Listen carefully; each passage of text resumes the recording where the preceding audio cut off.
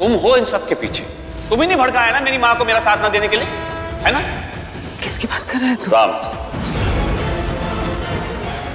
बोलना माँ तू पहले मिली है उससे? क्यों माँ? क्योंकि एक माँ ही अपने बच्चे की दुख को समझ सकती है।